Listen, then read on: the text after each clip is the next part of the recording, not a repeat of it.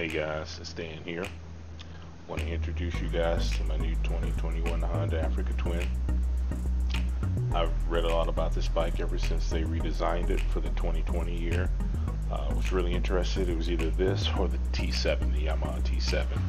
And I don't know if you guys know this, but right now it is hard to get some of these bikes.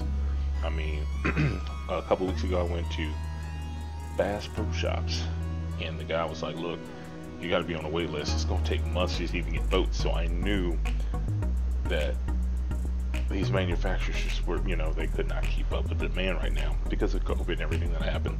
So anyway, got an email saying, "Hey, look, we'll take your trade." You know, we have I have a 2020 uh, CRF Rally, I had.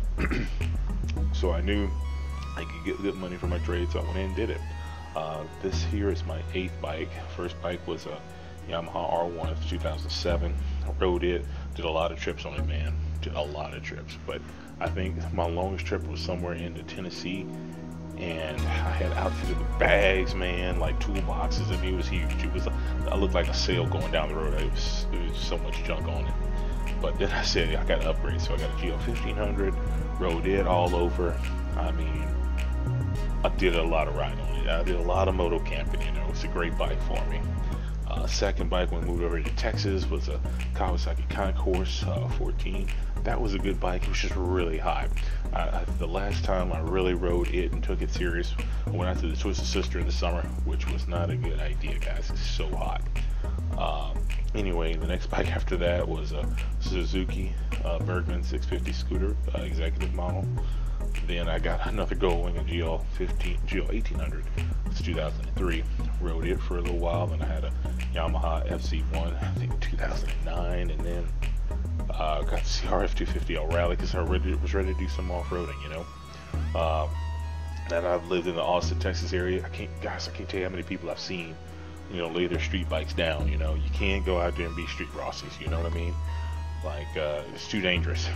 So I say, you know, I wanted to get into the dirt, so I got the Rally. Well, uh, like I say, dealers reached out and said they give me a good price on my trade. So here we are, bike number eight.